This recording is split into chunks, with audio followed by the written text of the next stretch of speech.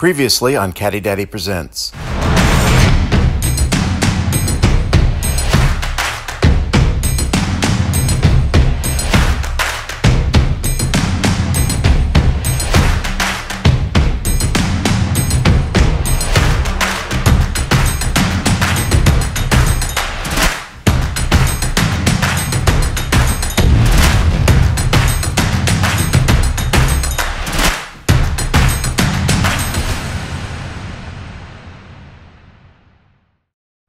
It's here, Caddy Daddy's interactive video buying experience.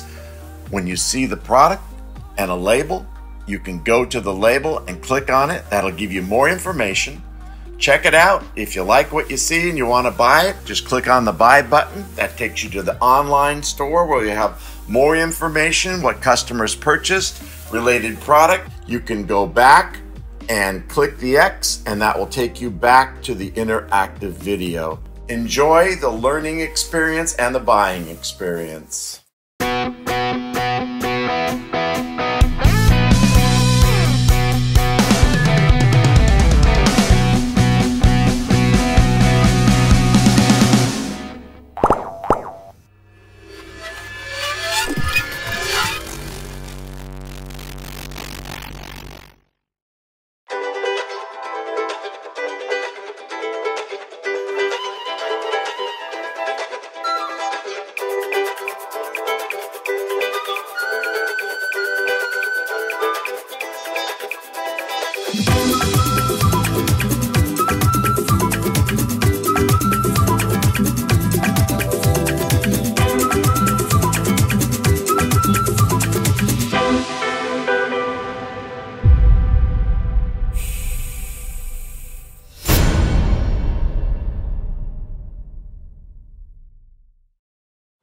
All right, so now we're back here at the chassis.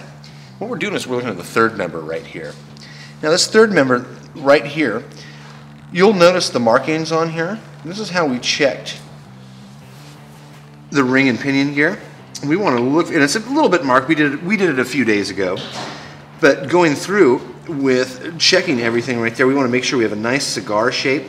That this is this paint identifies as it goes through that we're not having any odd inflection with the ring and pinion gear. So this is a little check right here.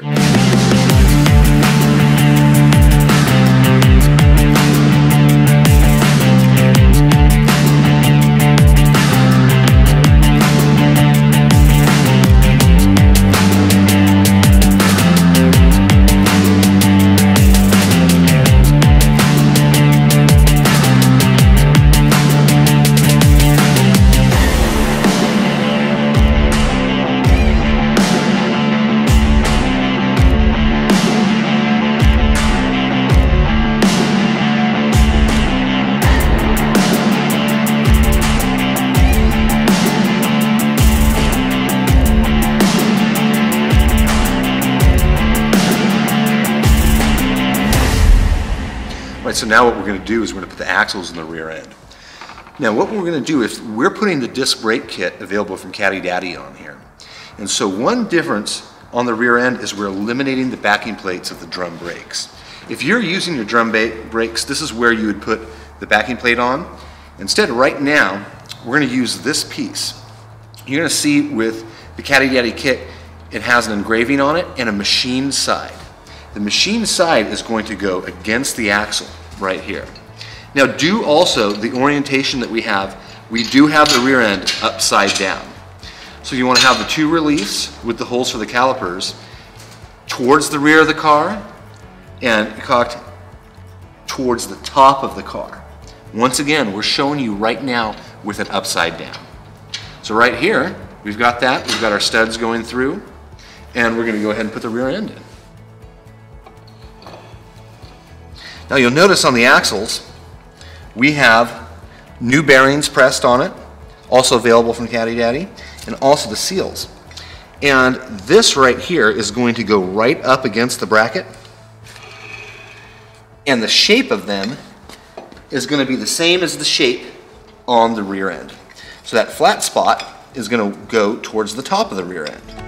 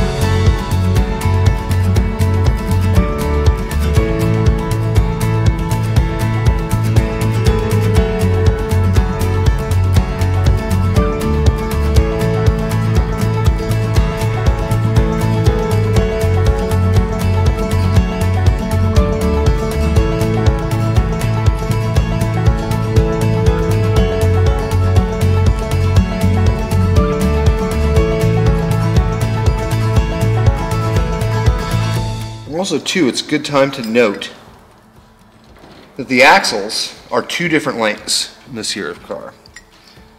So right now, we are working on the passenger side, which is the longer, longer axle.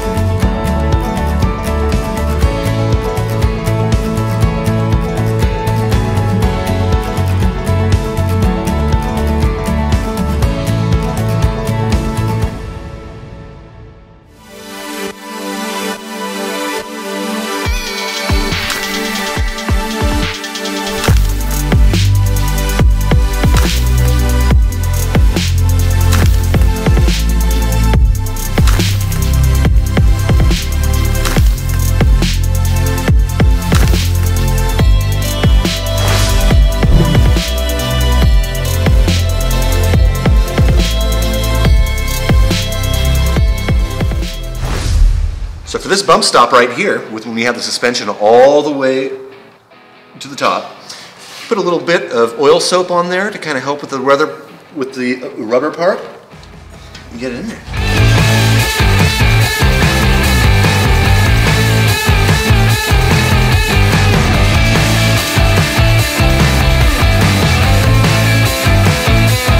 So here we have the, the axle uh, bump stop. And this metal part, you'll have to um, pull off the old one that you're replacing and, to, and apply it to the new rubber bumper. And it simply mounts on the bracket. With a single nut and lock washer.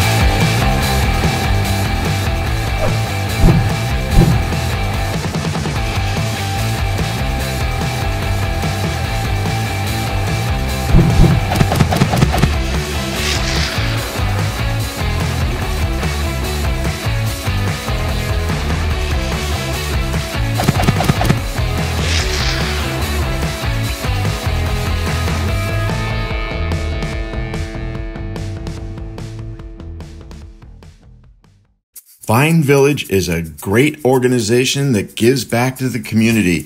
Check it out. You'll see so as well. Thanks for watching. Hi, my name is Sanan Kirsan. We're here at the 2018 Vine Village Celebration, our major fundraiser here that helps fund programs that we run for people with developmental disabilities here in the greater Napa community. Vine Village was founded by my family and another family, each who had children with disabilities in 1972. And we depend on donations from all sorts of foundations and individuals and businesses throughout our community to help fund these programs, and this is our biggest fundraiser of the year.